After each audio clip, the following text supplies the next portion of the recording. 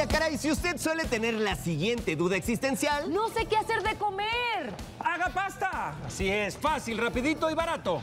eso familia, juntos presentamos pasta cremosa gratinada con albóndigas. Este bella show de sabrosón es para usted y su familia y comienza Así. Ve nada más que locura, tengo por acá carne molida de res, además también carne molida de cerdo. Mi esbe, solo dame el tiempo, por favor, y además de eso, ¿qué más? Viene por acá la textura y se trata de...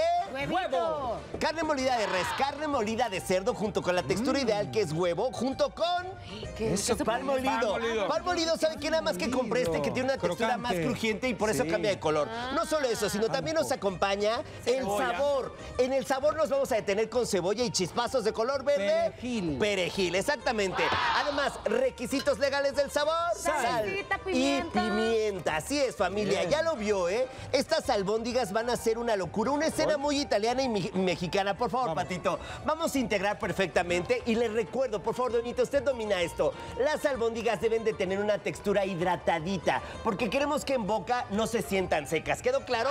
Buenas ahora acérquese, por favor, porque acá está el resultado. Lo que voy a hacer es tomar simplemente una porción pequeñita. De hecho, estas albóndigas van a ser más pequeñas que las comunes. Va que las del día a día. Ya la tengo acá de este lado, que es como le decía, como una canica un poco más grandecilla que ella. Y nos espera el sartén caliente saliente del infierno. Ahora agrego tan solo un chorrito de aceite para colocar por acá las albóndigas. Eh, familia, se escucha perfectamente ese sonido tan clásico. Y vamos a preparar las albóndigas suficientes, les recuerdo, más pequeñitas que las del día a día. Mientras eso sucede en Ciudad Gótica, ahora vamos a presentar de este lado una salsa cremosa, justo que grita eso, cremosidad, muy práctica. Acérquese para que lo hagamos juntos. Vean nada más. Tengo por acá. ¡Qué casualidad! toque- Crema. Exactamente, si decimos cremosidad no puede faltar Bien. crema. Pero además también para la- darle la textura que necesitamos viene leche. Acá está la leche. Y no solo eso, sino también directamente del botecito que su queso... Parmesano. Parmesano. Oiga, por favor, del botecito Uh. siempre me refiero a ese queso que no tiene denominación de origen, que es más barato, ¿va? Sí, Para que todos lo podamos tener Es en casa. accesible. Y vean nada más la sorpresa, exactamente. La sorpresa de esta receta se trata de ajito pero asado. Esta va a ser la gran participación especial de esta salsa. Ya lo vio tan solo pocos ingredientes y una vez que andamos ahí, entonces sí, es Un momento de un éxito. éxito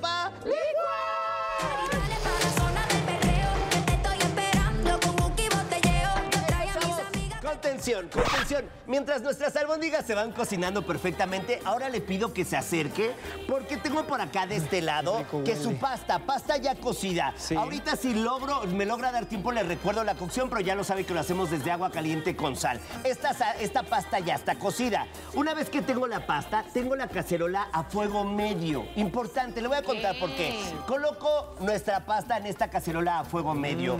¿Para qué? Con la intención de amortiguar la textura de nuestra salsa, porque al ser una salsa cremosa se podría cortar si la agrego en un medio de cocción muy, Muy caliente. caliente. Entonces les recuerdo, cacerola a fuego medio, la pasta y después llega con nosotros la salsa. La salsa cremosita que hicimos juntos con el sabor del ajo asado.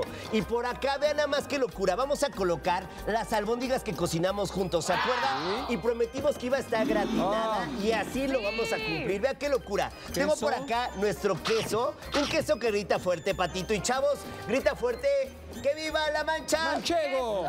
Eso. Le prometimos que iba a estar gratinadita y simplemente lo hacemos con la fuerza del calor. Le presentamos esta pasta gratinada y cremosa. Seguimos en ¡Venga la alegría!